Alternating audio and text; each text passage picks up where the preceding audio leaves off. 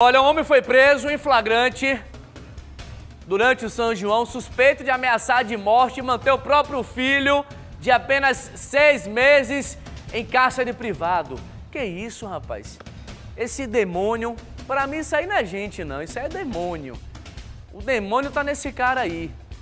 Ele colocou, ele colocou o filho em um quartinho, manteve o filho em cárcere privado, e Larissa está acompanhando de perto essa situação aqui na DERCA, Delegacia Especial de Repressão a Crimes contra a Criança e Adolescente, bairro de Brotas.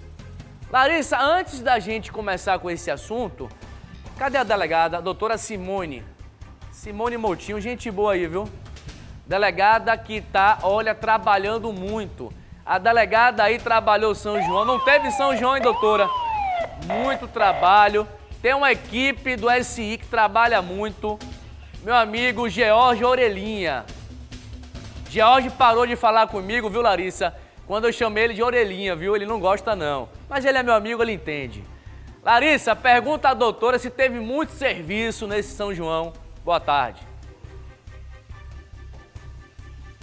Muito boa tarde, Marcelo. Boa tarde a você que continua acompanhando o Alô Juca. Ao meu lado, a delegada Simone Moutinho, delegada titular aqui da Delegacia de Repressão aos Crimes contra a Criança e o Adolescente. Marcelo dizendo parabenizando pelo trabalho da delegada. Como a gente já conversou aqui, muito trabalho no São João e isso que ele está destacando. Teve muito trabalho, né, delegada?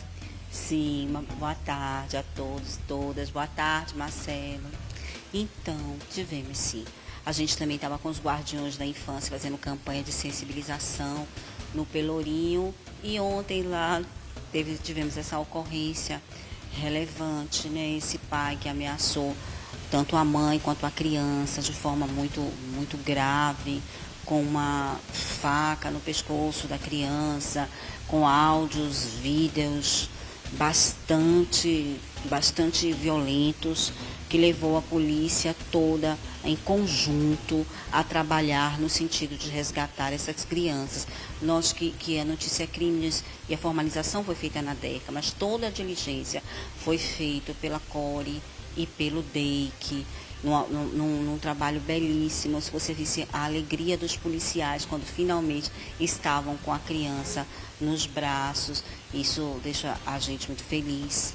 E como eu falava há pouco, é bom ressaltar também e tranquilizar a sociedade baiana como a Polícia Civil está preparada para trabalhar de forma técnica e sensível quando temos crianças e adolescentes vitimados.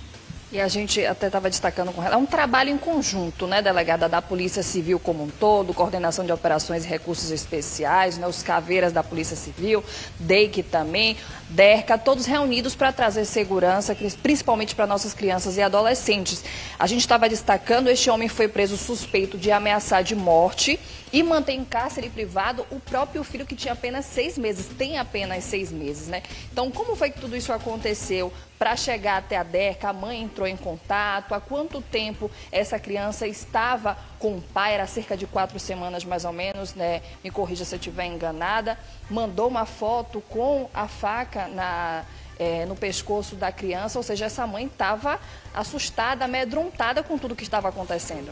Sim, a senhora chegou nessa, na, aqui na unidade bastante desesperada, obviamente, e noticiou que o, fi, que o tinha se separado do marido e que ele tinha ficado com a criança e que ela estava tentando negociar para encontrar esta criança, para estar com o filho mas que não estava não, não obtendo êxito. Até que na madrugada, entre o dia 24 e o dia 25, as ameaças ficaram efetivamente graves por conta dos áudios e fotos que eu já comentei aqui. E aí sim ela resolveu noticiar a polícia e tomamos todas as providências, conseguindo, graças a Deus, resgatar a criança, mas também prender em flagrante o infrator. Delegada, a gente inclusive recebeu a foto, seria este homem aqui, o rapaz. A gente não vai mostrar aqui a imagem, não, é só para confirmar com a senhora se seria essa, Desculpe, mas esse tipo de informação efetivamente eu não posso dar, tem a lei de abuso de autoridade que não permite. Pronto, pronto. A gente sabe que é um, todo um trabalho de investigação também da polícia, de sigilo. Agora o trabalho vai permanecer, esse homem se encontra onde, como é que vai agora proceder? Ele foi preso, autuado em flagrante, representamos pela decretação da prisão preventiva dele, bem como requeremos eh, medida protetiva tanto para a mãe quanto para a criança. Para a criança. A gente estava falando, inclusive, de São João, né, delegada?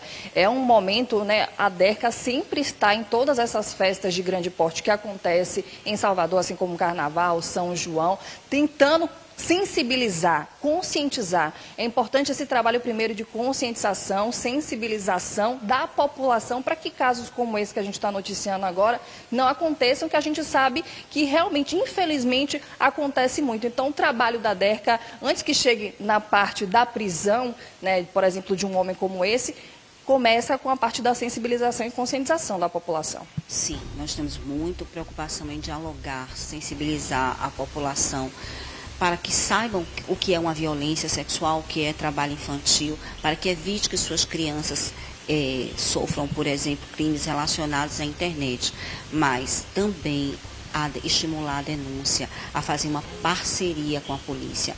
A polícia tem garantido proteção integral e prioridade absoluta no melhor interesse de crianças e adolescentes, mas é necessário que a população caminhe de mãos dadas conosco. É dever de todos nós proteger crianças e adolescentes. Daí a necessidade de esclarecimento para que efetivamente a denúncia ocorra. E às vezes a própria mãe, o próprio familiar tem medo de denunciar e muitas vezes um vizinho, alguém que está ao lado e sabe que existe, aquilo está acontecendo, às vezes tem medo de denunciar, mas tem que denunciar. Sim, é necessário a denúncia.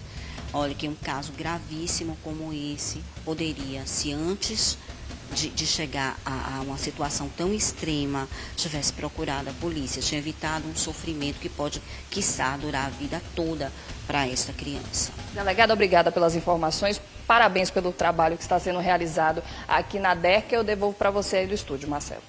Olha, Larissa, agradeço a delegada. Parabéns à DERCA. Foi um trabalho da DERCA. Foi um trabalho da DERCA. Parabéns, doutor Arthur Galas, doutora Simone Motinho. A DERCA aí trabalhando muito, hein?